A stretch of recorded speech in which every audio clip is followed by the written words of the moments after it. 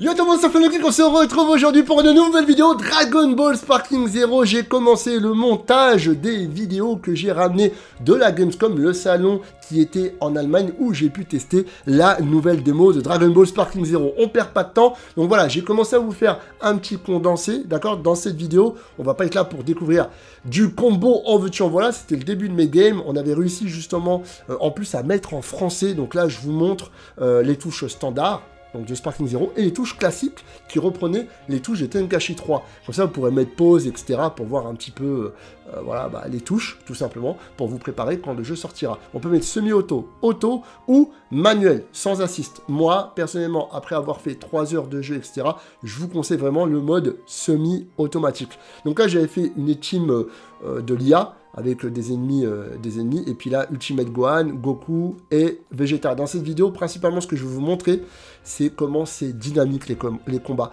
comment ça pète dans tous les sens, les transformations, etc. Pour que vous compreniez que c'est super immersif. Voilà. Et ensuite, plus tard, je ferai encore d'autres vidéos avec le contenu encore qui me reste, etc. On aura des bugs et on aura également des combos. Euh, voilà, ça viendra petit à petit sur la chaîne. C'est juste que ça prend du temps de faire euh, le montage parce que je dois tout euh, décortiquer avec tous les fichiers vidéo que j'ai pris en filmant avec mon téléphone. Je rappelle que c'est filmé avec mon téléphone. Regardez la transfo. Super Saiyan. C'est magnifique. C'est magnifique, les gars. Là, on est clairement sur un jeu magnifique l'aura, les effets, les explosions, ça pète le bâtiment, il y a des effets de fumée, il y a du vent autour, il y a des petites étincelles, il y a, des particules, il y a des cailloux qui s'envolent. Rendez-vous compte, c'est un truc de fou. Et pour se transformer, c'est pareil. Hein. Du coup, vous appuyez le joystick, et quand vous voulez la transfo SSJ2, par exemple, comme celle-ci, hop, un coup de joystick après à gauche, une fois que vous êtes appuyé dessus. Et je trouve qu'en SSJ2, il est magnifique, le Goku. Regardez même son attaque. Bah Oh là là là là Le regard, les effets de caméra, la grosse vague déferlante, on sent la puissance. Voilà, encore les particules qui se dissipent, le, gros nuage de fumée, les cailloux. Donc là, il avait switché le personnage, l'IA. Et ensuite, là, je passe en SSJ3. Alors là, il y a des choses à dire. Et d'ailleurs, je mettrai peut-être même des pauses. Là, on a un Goku massif, qui est super beau. Et ensuite, in-game, il repasse un peu fin. Maintenant, soyons honnêtes. Regardez quand même l'animation. Moi, je trouve que c'est sublime quand même. Voilà, il y a du travail à refaire sur le personnage, ça je suis d'accord, mais c'est quand même sublime. Je vais mettre une pause. Souvenez-vous, on avait le Goku SSJ3 dans les anciennes démos qu'on a pu voir sur le net avec les cheveux qui bougeaient dans tous les sens. Regardez bien là les cheveux les gars. Regardez bien. On va analyser ça avec le ki. Regardez comment le travail des cheveux a été revu. Là c'est quand même plus joli. D'accord? Ça, c'est pareil, c'est incroyable. Bam, bam, bam, ça se tape. Tu dois tourner ton joystick comme à l'ancienne. Hop, voilà. Et après, normalement, vous pouvez même renchaîner avec un Kamehameha, etc. Là, vous voyez, ça aussi, c'est très intéressant. Je veux vous montrer qu'avec mon ki, j'ai fait exploser le bâtiment. Regardez bien. Là, je vais exploser mon ki. Euh, juste après, là, ici, bam Hop, le bâtiment a explosé. Vous vous rendez compte ou pas? Pas Le ki a fait exploser le bâtiment c'est immersif de fou. Donc en fait, plus vous allez jouer dans le jeu, plus finalement après, on regarde pas réellement les défauts. Même si le Goku SSJ3, oui, je le répète, il faut encore le rebosser, on veut qu'il soit encore plus mastoc, etc. Mais finalement, les gars, une fois qu'après vous êtes plongé, vous faites plusieurs games, on n'y prête plus attention. On prête attention justement à toutes les informations qu'il y a sur la map, tu vois. Là, c'est pareil. Donc là, j'avais pris Vegeta. Cette fois-ci, je vous ai dit, hein, je vous ai fait un petit condensé. Et euh, le Vegeta, c'est pareil. L'armure, les dégradations, les égratignures, je trouve ça vraiment masterclass. Là, c'est pareil. Hop, boum. J'ai réussi à euh, stopper. Je voulais vous montrer qu'en fait, on peut se protéger ou on peut même se téléporter pour esquiver ce genre d'attaque. Bien évidemment, ça prend du ki, etc. Donc là, je me transforme Super Vegeta, et je trouve qu'en Super Vegeta, il est vraiment masterclass. Hein. Là, la modélisation de Super Vegeta, je vous l'ai mis pour vraiment faire la comparaison. Comme quoi, c'est possible d'avoir des personnages musclés entre le Goku SSJ3 et le Super Vegeta. Donc oui, c'est possible pour les développeurs de nous faire des persos au cara design musclé. Là, le végétaux, maintenant. Donc euh, là, j'avais laissé justement le Super Boo, il va me faire son attaque, et je la trouve masterclass, son attaque. Il me transforme en bonbon, il va me mettre une patate, enfin, en tablette de chocolat, la patate, bah Regardez euh, comment j'ai été éjecté, quoi. Bon, là, après, je commençais un peu à, le déglinguer un peu avec euh, mon végétaux. Et là, c'est pareil, l'attaque de végétaux. Hop, bim, bim, bim. Super vif. Avec la caméra qui fait une rotation autour du personnage. Pareil, là, il se transfo en Super Saiyan. Bah franchement, c'est incroyable. Et la rapidité du Super Végétaux, vous allez voir dans le gameplay. Bam, bam, bam, bam, bam, bam, bam, bam, bam, bam, bam, bam, bam. Mais les gars, vous avez vu la différence avec ce que vous avez vu en début de vidéo Le Végétaux, quand il cogne, ça rigole pas. Il y avait Kid également. De toute façon, je vous ferai plein d'autres vidéos gameplay où là, on décortiquera les combos, etc. Je vous le dis, pour maîtriser le jeu, faut au moins une heure. Je vous l'ai déjà dit la dernière fois lors d'un de, mes lives, faut au moins une heure de maîtrise. Donc là, c'est pareil. Regardez l'attaque, regardez bien les cheveux, comment ils ont été retravaillés. Masterclass. Donc vous voyez, ça c'est pareil, parce que dans le V-Jump, on avait des mèches qui étaient arrondies. Et les gens me disaient, oui, c'est normal, euh, dans le V-Jump, c'est parce que c'est pas la même frame. Non. Les mèches, dans le V-Jump, on rappelle l'image officielle, ça faisait un effet banane, tu vois. Ça veut dire que les pointes étaient arrondies. Tandis que là, les pointes sont bien pointues. Regardez bien. On va faire ça image par image. Regardez bien. Image par image. On ne retrouve aucune mèche banane arrondie comme dans le V-Jump. Parce qu'on me dit c'est pas les mêmes frames, etc. Quand j'ai montré l'image euh, sur euh, les réseaux. Regardez. Je vous passe image par image. Vous voyez? Vous voyez la différence? Comment c'est propre? C'est très propre, donc voilà. On ne peut pas dire qu'on raconte des bêtises, qu'on ment, etc. Je vous ai fait frame par frame. Voilà les amis. Donc oui, le jeu a encore eu des améliorations.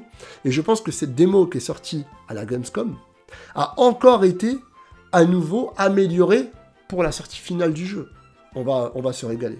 Spopovic, pareil, vraiment masterclass. Le petit Gotenks, j'ai vraiment bien aimé jouer avec. Vous voyez les petites Kikoa J'aime bien les, les petites qui font des explosions de fumée à bout portant.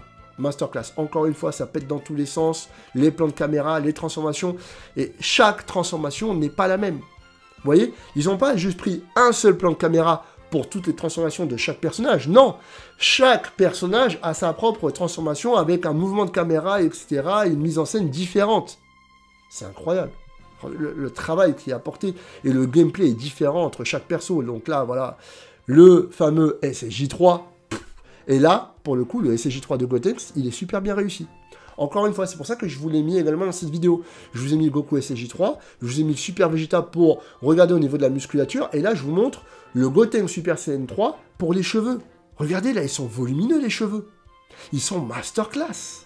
Faut faire la même, il faut absolument faire la même sur Goku Super Saiyan 3. Et là, tout le monde il est beau, tout le monde il est content, on sera tous contents, voilà. Et pareil, le Gotenks, très très rapide en Super Saiyan 3, très très rapide, on peut contrer, etc. Voilà. Franchement, les gars, je me suis régalé. Je vous le dis, je me suis régalé.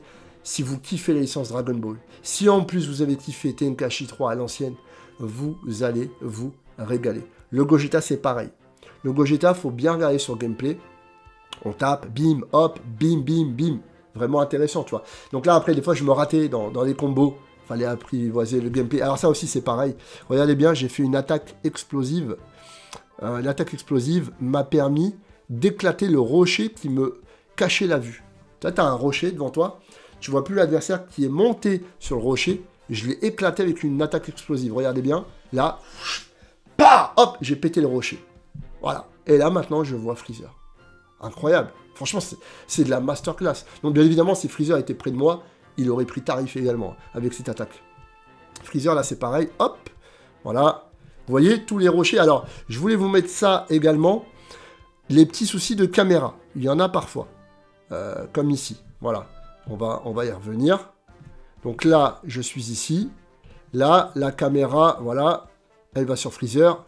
Et là, regardez, j'ai une caméra un peu basse. Pourquoi? Parce que Freezer, il est au-dessus d'un rocher. Vous voyez, il est au-dessus d'un rocher. Donc, je vois pas très bien l'adversaire.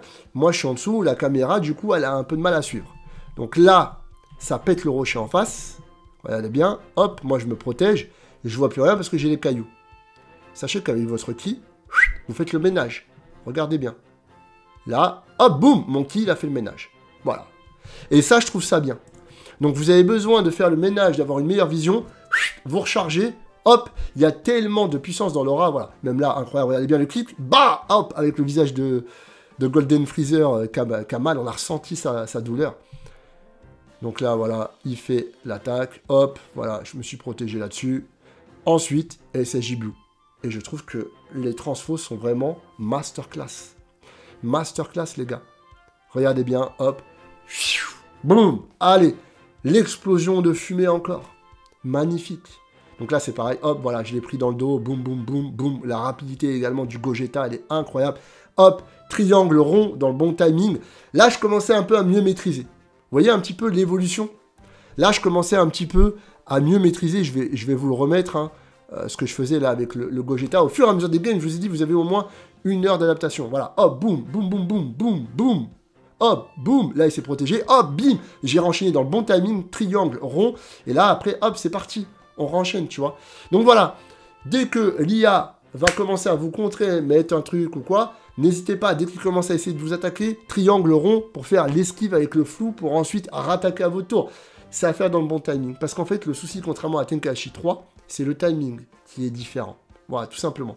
Là, il y avait Ginyu, je l'ai contré, bam, hop. Donc là, c'est pareil, hop, la balayette, le bas triangle, vous connaissez, on continue. Vous voyez, ça commençait à être beaucoup plus intéressant en termes de gameplay, petit à petit, avec euh, les combos, euh, etc. Parce que j'avais besoin de jouer au jeu pour commencer à maîtriser un minimum, tu vois. Et là, c'est pareil, vous voyez les contres, etc.